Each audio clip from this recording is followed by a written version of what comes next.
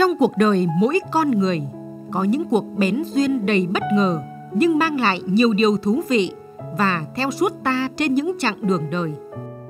Ở miền đất đó, người viết được thỏa sức sáng tạo và theo đuổi đam mê bằng chính ngòi bút năng lực của mình, để rồi nghiệp viết là người bạn đồng hành trong cuộc sống. Và với tác giả Hà Lê, ông đến với văn chương từ những cơ duyên như thế.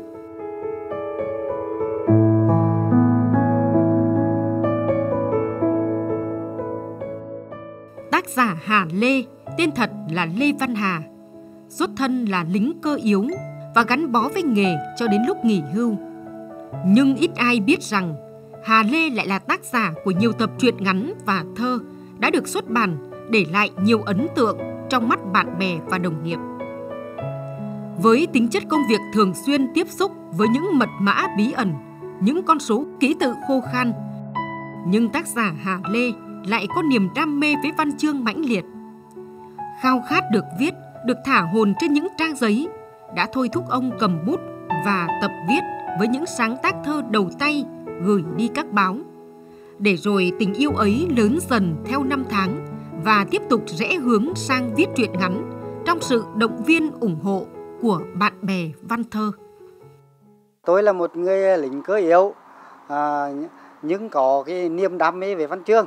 Ờ, bước đầu thì cũng có làm một số bài thơ gửi đăng một số báo. Ờ, sau đó rồi thì ờ, viết một số vai truyền ngắn thì được các báo và các bạn bè khích lệ. À, tôi lại chuyển sang viết à, à, ngắn, không có nghiệp vụ, không qua trường lớp, nhưng mà à, cũng do từ học hỏi ở trong sách báo rồi thì từ học hỏi bạn bè mình thì từ chỗ đó mà mình vượt qua được bao nhiêu khó khăn được bạn bè ghi nhận là người tay ngang không qua trường lớp đào tạo bài bản về văn chương. Tác giả Hà Lê đến với nghiệp viết bằng tâm hồn chân thật tự nhiên và đong đầy cảm xúc. Bởi vậy những đề tài trong sáng tác của ông rất gần gũi thân thuộc xuất phát từ những điều ông được chứng kiến được chiêm nghiệm trong cuộc sống. Mỗi tác phẩm ra đời là một nỗi niềm được gửi gắm, để rồi ông được trải lòng mình bằng những câu từ, những câu chuyện kể từ đời thường. Trong hiện thực cuộc sống trộn lẫn, đan xen, nhiều mảng màu sáng tối. Thông qua cái tác phẩm của mình á, thì muốn ờ, gửi gắm đến ờ, mọi người á, ờ, tình tình yêu quê hương đất nước vào cuộc sống á, thì cũng có có cái được có cái mất. À, thế nhưng mà à, tôi vẫn luôn luôn tin tưởng vào cuộc sống và tin tưởng vào mọi người à, và mong sao để xã hội chúng ta ngày càng tốt đẹp hơn. Sinh ra trên mảnh đất kỳ anh giàu trầm tích văn hóa và lịch sử với sự ưu ái của tạo hóa về những miền danh thắng đã khơi gợi mạch cảm xúc tuôn chảy trong tâm hồn tác giả Hà Lê. Không chỉ có những trang viết ca ngợi vẻ đẹp quê hương, mà đó còn là sự chịu khó cần cù của những người dân lao động ở vùng đất đầy nắng và gió. Có lẽ bởi vậy mà những trang viết của tác giả Hà Lê, người đọc bắt gặp giọng văn mộc mạc, không màu mè, không mang tính triết lý, nhưng ẩn sâu trong đó là những trăn trở băn khoăn về cuộc đời, về số phận con người. Đề tài trong những sáng tác của ông rất đa dạng.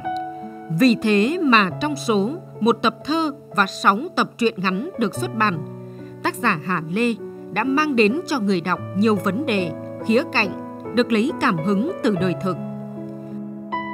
Tập truyện ngắn Mạch Làng là đứa con tinh thần được xuất bản đầu tiên, kết quả từ niềm đam mê của những ngày đầu đến với văn chương, là những câu chuyện giản dị về cuộc sống làng quê với những phong tục tập quán của làng đã trở thành mạch sống của họ xuyên suốt cả cuộc đời.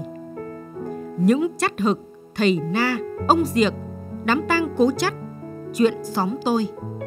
Bước từ đời thực vào trong trang sách của Hà Lê với lối kể thật, pha chút hài hước, hóm hình, nhưng cũng chứa đựng nhiều thông điệp, tư tưởng ý nghĩa trong kết nối mạch làng về nếp nghĩ, nếp sống của người làng và sự vươn lên của họ trước khó khăn. Từ tác phẩm đầu tay ấy, ông tiếp tục cho ra đời những rừng quá, làng đồng rêu, nước mắt tôm, Tất cả đều xuất phát từ những trăn trở trước số phận con người, là những người dân nghèo chịu thương chịu khó lao động, nhưng cuộc sống vẫn có nhiều biến cố vất vả. Cách họ đứng lên để tiếp tục bước về phía trước cũng là tư tưởng chủ đạo, là thông điệp xuyên suốt trong các tác phẩm của Hà Lê. Là người từng gắn bó với quân đội, những ký ức về một thuở hào hùng của dân tộc cũng được ông kể lại qua những trang viết về anh hùng liệt sĩ Nguyễn Văn Lộc. Bên dòng sơn xoang với những con người và trận đánh có thật, với chất giọng đầy tự hào, trân trọng. Những tác phẩm của Hà Lê gần gũi, chân chất như chính con người của ông và có sức lan tỏa đến mọi người. À, tôi thì cũng đã có cái cơ hội là được đọc một vài tác phẩm của tác giả Hà Lê à, như là nước mắt tôm hay là rừng quả hay là mạch lang thì à, tôi thấy là cái lời văn của của tác giả Hà Lê rất là mộc mạc Ờ, bình dị và đơn giản. Kèm thêm một chút là hí hỏng ờ, dí dỏm và hài hước. Gắn bó với nghiệp cầm bút đã gần 30 năm bằng sự sáng tạo bền bỉ nhẫn nại. Tác giả Hà Lê đã có chút gia tài nhỏ trong nghiệp viết và được bạn bè đồng nghiệp trong giới chuyên môn ghi nhận.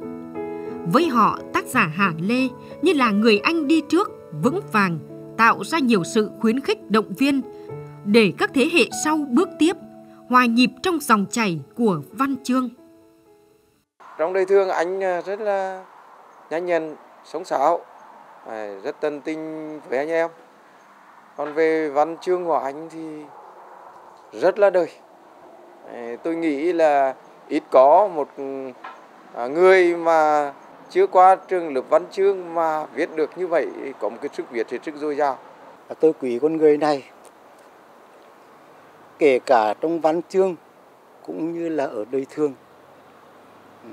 Anh là một con người nhiệt tình, giàu tình yêu thương, là một người cầm bút nghiệp dư mà anh làm được như vậy thì quả thật là một kỳ thành tích đáng để.